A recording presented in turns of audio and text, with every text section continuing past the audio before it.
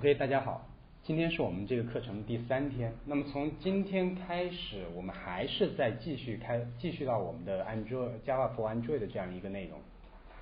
在昨天的话，我们其实已经给大家说了很多的内容，包括包括加我们为什么会会提出这样的一个 Java Android 的这样一个课程，并且我会告诉大家，我的 Java Android Java Android 这块内容跟现在你在网上能够看到的 Java for Android 的这块内容不一样，为什么呢？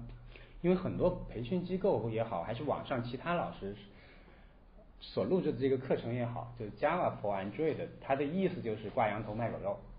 什么意思呢？就是讲 Java 语言从零开始讲起。那由于这次我的所有的学员都是有 Java 基础的，所以我们只是起到一个抛砖引玉，就我会给大家提一下，提一下我们 Android 里面有哪些 Java 内容是 Android 常用到的，所以更多是起一个抛砖引玉的这个过程。当然，昨天也给大家抛出了一个概念，就是程序等于算法。我们怎么样再去学一门新的语言？那希望这个大家能够掌握。来回顾一下昨天跟大家沟通了哪些 Java for Android 的一些内容，这些内容也就是我们 Android 里面常常会用到的一些 Java 的语言知识，包括其一，其一就是我们的 instance of 啊 instance instance of 这样一块内容。它主要是要做到什么呢？我们的实例的一个类型的检验，还有就是我们的数组，我们说用它来干嘛呢？常常用它来做我们的一个存储的这样一个对象集合，还有我们的反射，反射昨天我还给大家举了举了一些例子，不知道还记不记得？包括什么皇帝翻牌子啊这样的一些例子，还有我们的迭代器以及我们的 cursor，那这些也是在我们数据存储会用得到。那么昨天的，我相信大家听的时候可能还是听得明白，但是里由于这里面大部分的案例和练习都我都是以 Android 的项目来呈现的，所以可能由于咱们之前有个别同学他是从 Android 是从零开始的，所以你不一定能够掌握，没有关系啊，你就先去理解，因为我们后面还会详细的讲解这些例子。那么从今天开始，从今天开始，我打算跟大家分享在我们的。在我们的 Android 里面的其他的一些比较重要的一些 Java 内容，包括什么呢？包括我们的内部类，特别重要的是 nim 内部类，以及我们的 Java Doc 的这样一个代码文档。这个代码文档我只是简单跟大家分享一下，因为后面我们在讲 Android 开发的这个代码规范的时候，我们大概会用一到两个小时来跟大家讲一下这个规范，我们称为约定啊，就是。因为为什么要讲这些东西呢？因为在我们商业项目中，这些行为习惯就取决了你的一个职业的修养，以及你这个程序员的功力啊，以及我们的 String 这样的一个在 Android 里面的应用。那你说 String 这个东西我还不会嘛，对不对？其实跟 INT 一样简单的东西，为什么要讲呢？待会儿你就知道了。同时还会跟大家说一下，在在我们的 Android 里面常常会用到的跟日期和时间相关的一些类型，以及泛型。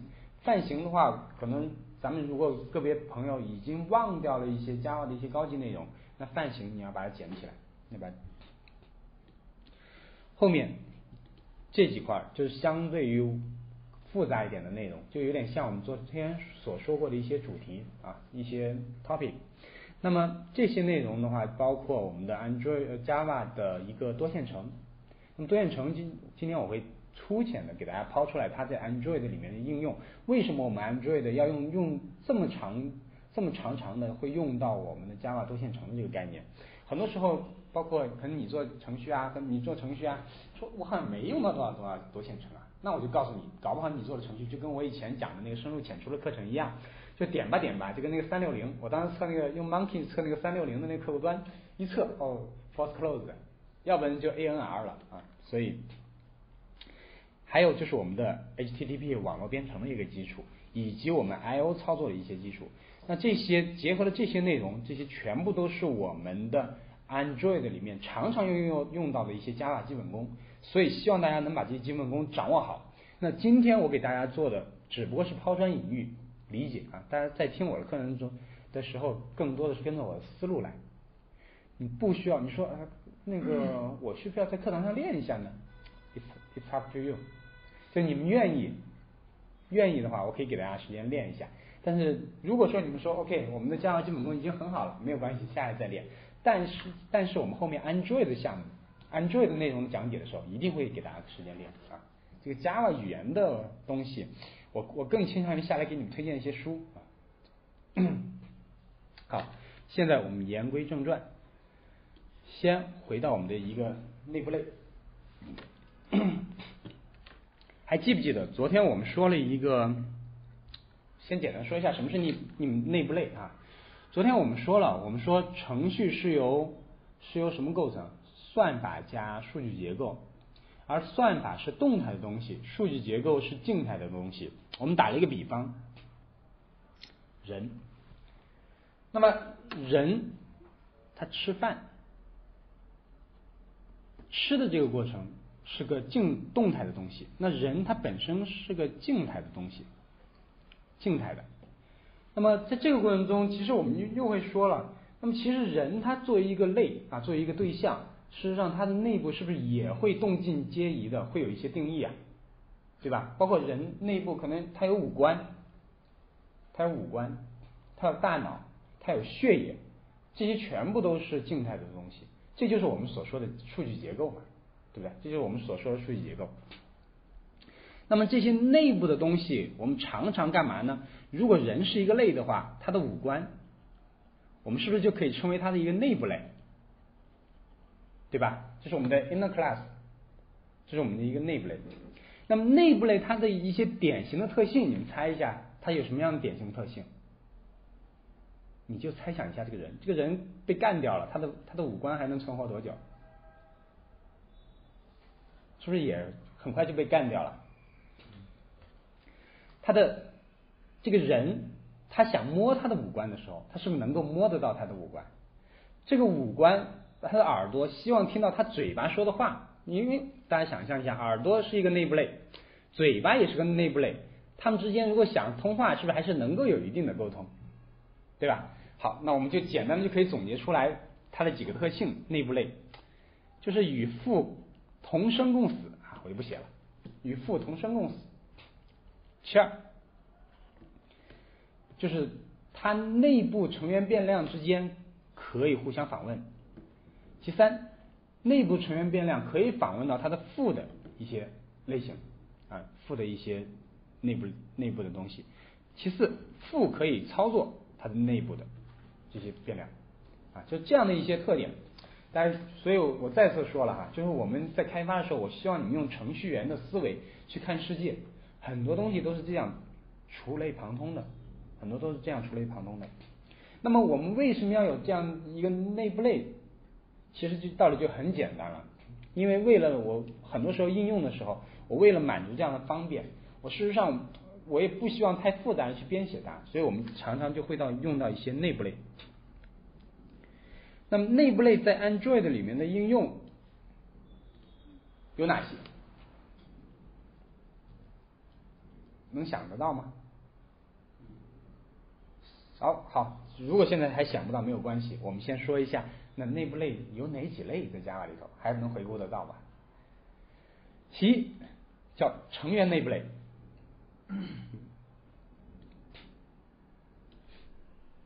成员内部类。那么成员内部类是个什么东西呢？我们来看一下这这块代码。我们来看一下这块代码，可能字儿有点小啊，那将就看。这个就是最普通的内部类的一个形态。最普通的一个内部类的形态，这是一个用户，用户里面它定义了两个内部类，一个叫登录信息，一个叫它的一个参参考啊，就叫一个参考。那么这两个内部类它的写法，就前头不不需要再加一些什么关键字儿啊、关键字儿啊这些，这是最典型的一个内部类的写法。那我们说了，记住它们的一些特性，同生共死，同生共死啊。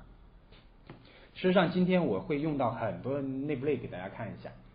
那么很多时候，其实我们在做点 net 的朋友，在座有没有做点 net 的朋友？你不做，你们也不做，他做，我也做，OK。好，做点 net 的朋友的时候，微软有一套规范，它的要求是什么呢？一个文件一个类，是微软的一个不是硬性约定了，不是硬性规定，但是它强烈建议，因为这样你的逻辑会非常清晰。明白吧，其实 Java 你也可以完全一个文件一个类，你也可以不用内部类啊。那很多时候，但是当然了，它语言既然提供了这个特性，还是有它的道理的。而且很多时候我们程序员也比较偷懒，认为 OK，比方我在这里写个多线程类，那么这个多线程我可能只是在这个类里面，只是在这个里类的某一个方法里我用到，其他类我都没必要去调用。那么所以我们就偷一下来，就把它定义成内部类，对不对？这是它的场景的一个应用。举个例子，这是我今天要跟大家演示的一段代码。那这段代码我也是偷了下来，用了很多内部类。Java for Android。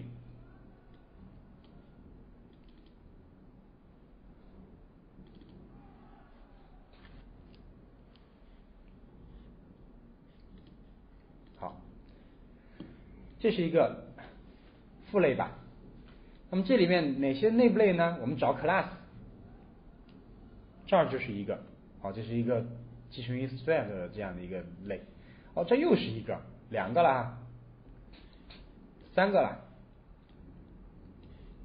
三个三个，好，三个内部类，那它的写法是不是跟我们刚刚看到的是一样的？对吧？这是我们的成员内部类，就是最普通的那种内部类。那可见桑迪有的时候也蛮偷懒的啊，因为我也是个懒人啊，lazy。那这是一种，这是我们的成员内部类。其二就是我们的局部内部类。什么叫局部内部类呢？我简单的说一下，就我们刚刚的成员内部类是不是定义在方法之外的，在内类的里边，在方法之外？那这个时候我是不是在我这个类里面的各个方法里面都可以用到它？是吧？这些这些访问访问区间，这个大家都比较清楚。有的时候是什么呢？我更懒，我只在一个方法里就会用到它。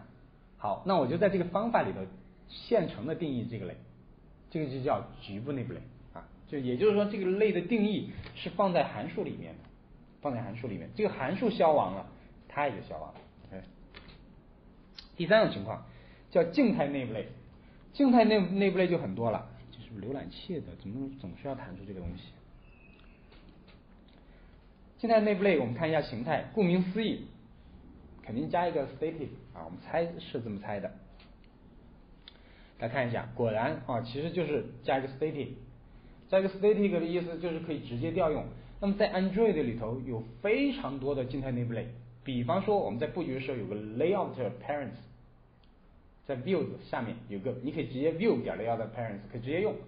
就你们就会发现有很多。再举个例子，我们还还有很多的，就是很多很多这样的一些静态类在我们 Android 里面应用啊，所以这一块我们也需要去了解啊。我们先来了解一下这几个几个类的一个区别。最后一个就是第四块，叫我们的匿名内部类。匿名内部类，顾名思义，我们猜啊，什么叫匿名呢？曾斌，你看上哪个姑娘了？你给她写信的时候匿名，意思就是不署你不署你的名字，对不对？同样的，我们在这个类里头也是一样的。那我们在这里就没有。找到自己的名字写，那有的朋友就说不写名字我我怎么写呢？很多朋友其实很聪明的啊。我以前遇到一个朋友，他说桑迪，你老是叫我触类旁通，然后去联想。他说类的定义是这样子，比方说 class 桑迪这样子，比方说这个样子啊，或者这个不要吧，我们都既然是内部。这样子，他说 name 内部类是不是就这么写？他就很聪明嘛，他说这样写。那事实上我们在 Java 里边其实是不这样写的啊。我们 name 内部类的时候，更多的时候我们是在实例的时候直接用的时候，我们直接给它 new 一下。大家看，这个地方我们传入的其实是应该应该是一个类的实例，对不对？在在这个里头，当然这块是 Android 的内容，不知道也没关系，我会告诉大家。这块是要传入我们事件监听这样一个类的实例，那么这个实例，这个实例当然它是要实现一个接口啊，就这个 onClickListener 这个接口。那么为了简便，为了简便，我直接就在里头 new 一个，这个就我就可以了。我甚至于我没有必要再去写一行代码，再去写一行代码，什么把那个 class 啊什么什么给它定义好，我在那直接就用。而这个应用大家会看注意到，在我们 Android 里面的事件这一块，几乎就我们设定监听器，几乎都会用这个 NIM Enable。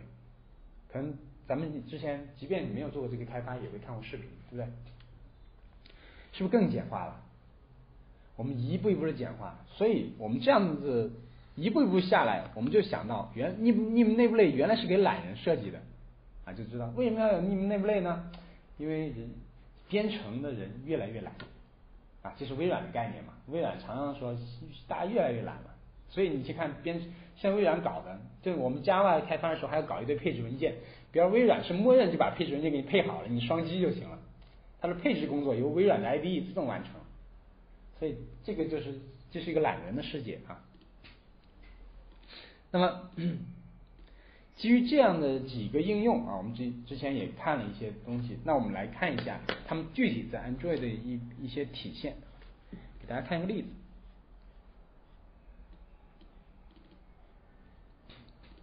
说一下啊，因为我的操作系统老是切换来切换去的，之前，然后编码也会出现问题，有所以有的时候我偷懒，我就直接注释什么全都用英文写了啊，这些是我自己写的啊，你不要认为我我从哪 copy 过来的。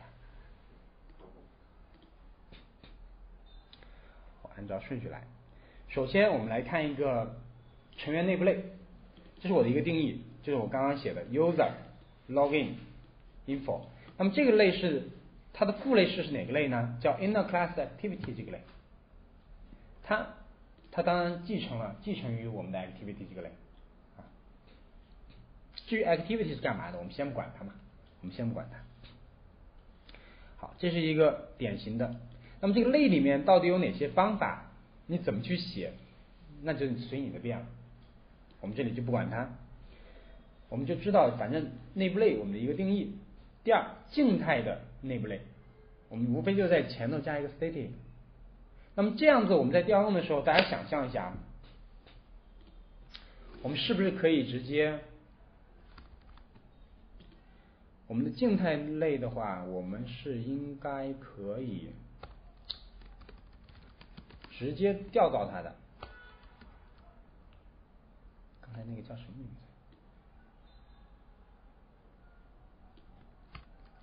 在外面能够，但我这只是这个这样形式写一下，就你在这个类的外面，你也是可以直接这样调到它的，只要它是 public 啊。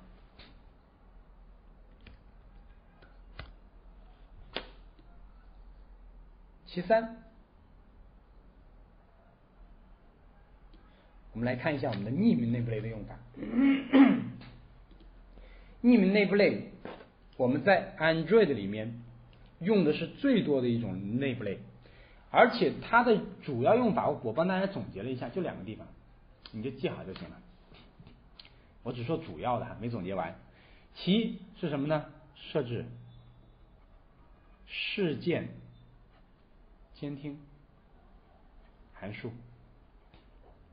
就什么 set on click listener 啊，就这种这种东西。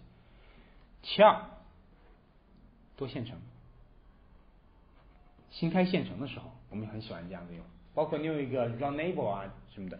那么在这个地方，我特别的要提一下各位，我们在设定监听的时候，大家看这一块，我把注释掉了啊，我把注释掉了，但是其实这是我们的，其实是我们的一块代码。就是给我们的，哎，我们看得懂这个按这一段代码吧？就找到我们当前界面上的一个按钮，这个按钮我们给它起一个实例的名字叫 A button，给它设置它的事件监听。那么设置完了，在这个地方 new new 一个什么什么东西？哎，大家想象一下啊，这个 view 它是不是一个类啊？那么它这这个 on click listener 是个接口，哎，我们把这个弄掉。OnClick Listener 是个接口，类下面的接口，我们可以直接这样点儿访问。你猜一下它是怎么去定义的？肯定有 Public，有没有 Static 呢？或者其他的？大家自己去想象啊，大家自己去想一想。然后我的重点是什么？当然，因为如果我们现在已经讲到后面了，我现在就会打开我们的 source inside，给大家直接看 Android 的源码。但是由于这个工具我还没给大家讲，大家可能看过我深入浅出的就知道，我很喜欢拿这些工具直接去看源代码来说话啊。但是现在我们先不急，我们由浅入深嘛。那么好，那么这里我又提一个小问题，提一个小问题，就是 new 什么什么类，我们知道就是